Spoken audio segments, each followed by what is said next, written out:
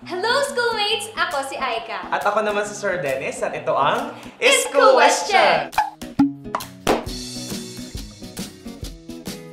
Umpisa na naman ang bagong school year kaya ang dami naming natatanggap na mga katanungan na may kinalaman sa enrollment, grades, requirements at iba pa. But don't you worry mga schoolmates sapagkat kinonsulta na namin ang Office of the University Registrar tungkol dyan.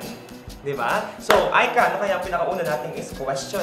Is question mula kay Buela May Rodriguez. Hmm. Paano po kapag hindi ako nakapag-submit ng Form 137A? Nako, Bella May, unfortunately, mayroon ka lamang isang taon na binigay sa'yo, ibibigay sa'yo para mai-submit ang Form 137A mo. Tama, at kapag hindi mo ito maisubmit after one year, sadly, pwede kang ma-block from enrollment. Naku, nakakatakot pala yun, ano? Pwedeng ma-block. But anyway, the next question naman mula kay Roy Mark Rojas. Ang tanong niya, ano po ang gagawin ko kapag iba ang pangalan ko sa enrollment at doon sa nakalagay sa aking birth certificate? No, kailangan mo agad ayusin yan, Roy Mark.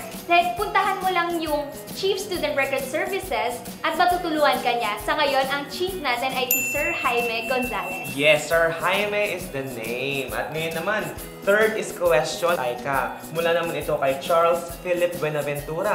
Ang tanong naman niya, Aika, ay ganito. Mali po ang nailagay kong pangalan sa aking SIS account. Paano ko ito mababago? Nako, Charles, napakadali lamang yan. Ano? Ang gawin mo lang ay pumunta ka agad sa Students Record Services, mag-fill out ka ng form doon at isubmit mo sa ICTO or Information and Communications Technology Office. Ganun lang po pala kadali, sir. Yes, madaling-madali lang talaga yun. Ang next question natin ay galing kay Maria Lespinosa. Hmm.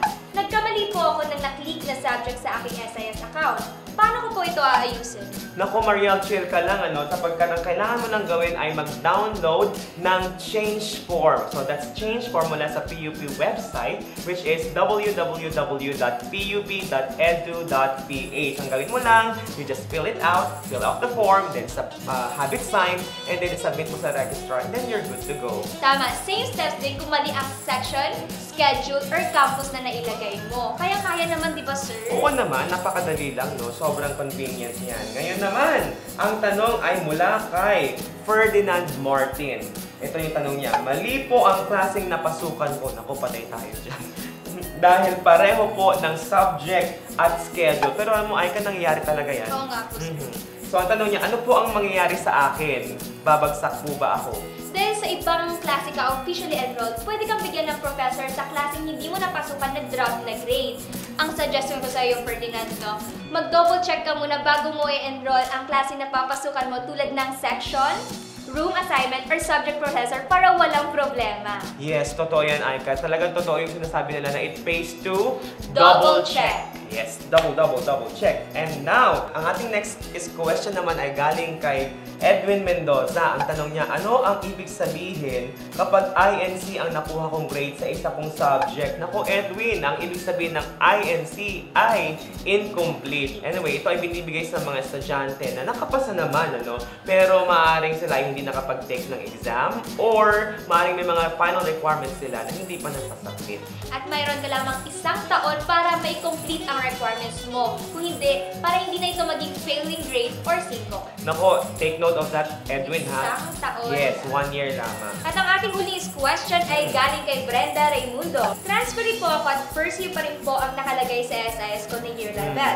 Paano po ito mababago dahil na-credit na po ang iba kong subjects? Nako, sorry Brenda, hindi na siya mababago. Hindi, joke lang, joke lang. But kidding aside, okay lang yan Brenda, no? sapagkat automatic na first year ang nakalagay sa SIS accounts ng mga transferees. Pero ang maganda naman doon, nababago ito kapag na-credit na yung mga subjects from your previous school. Pero remember ha, meron lamang tayong 30 units. Yan, take note, 30 units na maximum na pwedeng ma-credit mula sa dati mong school. Yes, 30 units sa first two semesters kasama ang PE at NSTP. Yes. Automatic na ito ma-adjust pagkatapos mo makompleto ang 60% units ng school year level mo. Ayun naman pala eh.